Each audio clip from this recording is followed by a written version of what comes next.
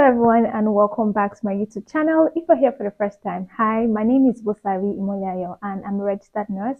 On this channel, I talk about nursing, healthcare and my lifestyle generally as a nurse. And in today's video, I am going to be simplifying antihypertensive medications.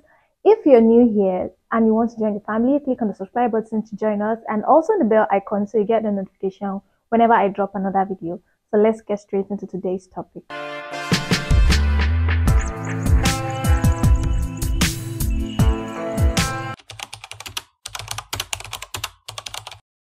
So in simple terms, antihypertensive medications are drugs that are used to regulate the blood pressure, specifically lowering them. So when the blood pressure is too high, the drugs used to bring them down are basically antihypertensive. So today I am going to be describing the mechanism of action and examples of some common antihypertensive medications that you will come across. Now there are a number of classes of medications that are used to treat hypertension. And a very simple way to remember these drugs are A, B, C, D. So A will stand for angiotensin converting enzyme inhibitors. You also have A for angiotensin 2 receptor blockers, alpha blockers, all within A. For drugs under B, you have the beta blockers. For C, you have the calcium channel blockers. You also have drugs that are classified as central agonists. The D, you have diuretics and vasodilators. I know vasodilators start from the word V, but you know, if you take into consideration the word dilators, you can also use the alphabet D to remember them. So we have A, B, C, D. So starting with the angiotensin converting enzyme inhibitors, let's go back to physiology a little bit. Angiotensin converting enzyme is responsible for converting angiotensin 1 to angiotensin 2. And once angiotensin 2 is present in the body, what it does basically is that it increases blood pressure through mechanisms like vasoconstriction. It causes the body to reabsorb sodium and water a lot because there's release of antidiuretic hormone as well as aldosterone. And all this comes together to increase blood pressure. So what so let's assume that I am angiotensin converting enzyme. It means that if I am not present in the body, there would be no way angiotensin 1 would be converted to angiotensin 2, causing the blood pressure to rise. So what angiotensin converting enzyme inhibitor does is that it stops me, the angiotensin converting enzyme, from converting angiotensin 1 to angiotensin 2, and there is no blood pressure increase. That is a very simple way of describing the mechanism of action of angiotensin converting enzyme inhibitors. Examples of drugs that fall under angiotensin converting enzyme inhibitors include drugs like lisinopril, and enalapril. And you will realize that these two examples I mentioned have the suffix PRIL. So the suffix pril is a good way to remember drugs that fall under this class.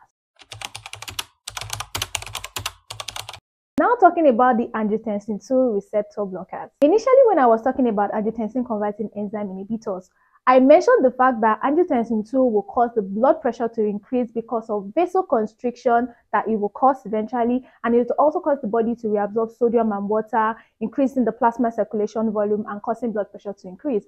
So it means that if we stop angiotensin 2 from doing its work, then the blood pressure will not increase. So let's assume that I am angiotensin 2 and it is required for me to bind with my receptor before I can cause the blood pressure to rise.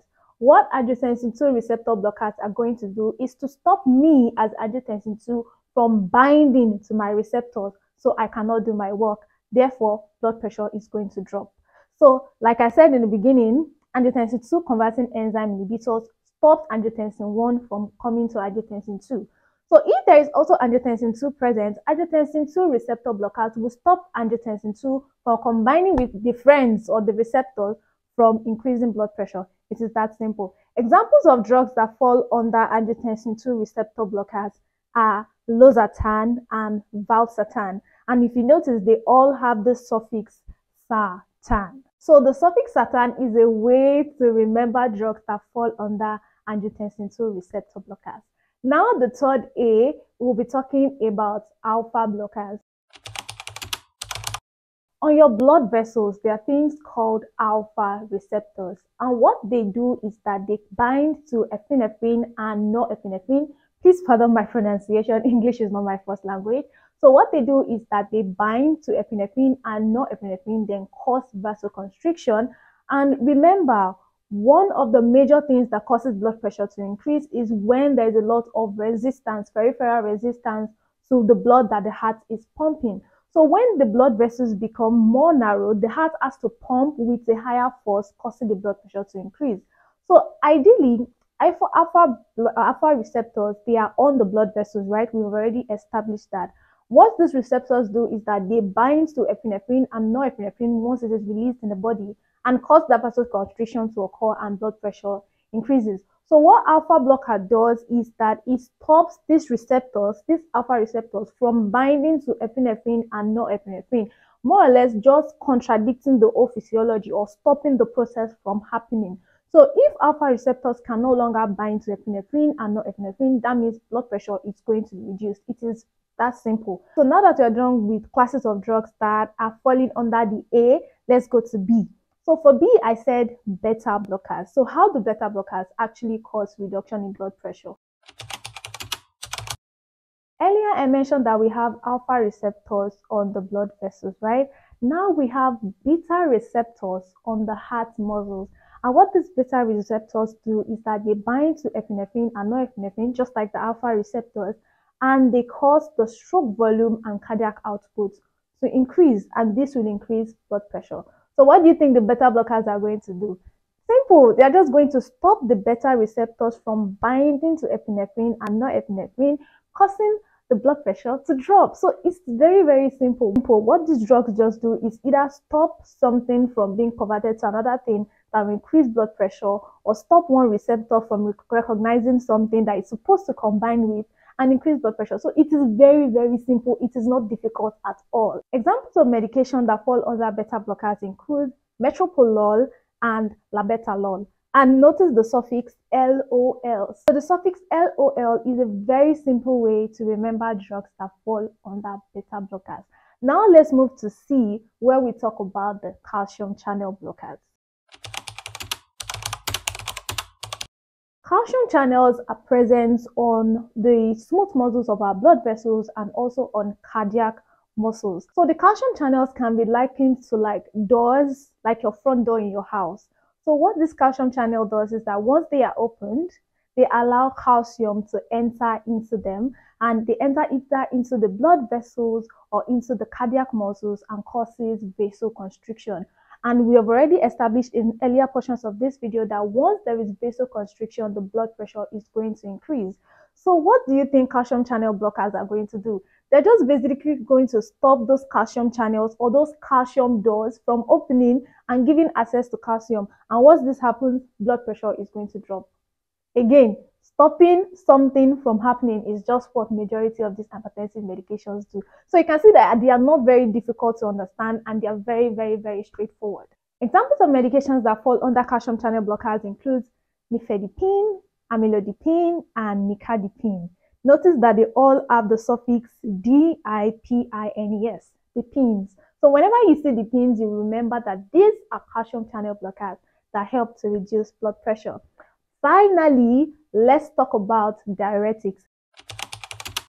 There are different types of diuretics. You have the loop diuretics, you have the thiazides, and you also have the potassium sparing diuretics. But I'm just going to be talking about a general overview of how diuretics can help to drop blood pressure in this video.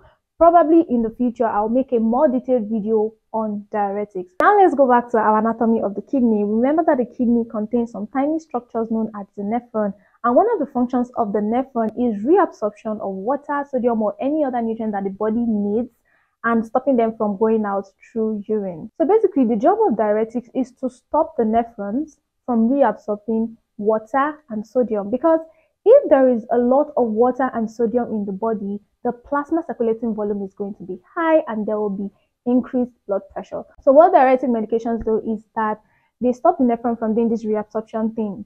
They make sure that the body excretes enough water and enough sodium, dropping the plasma circulating volume and reducing blood pressure.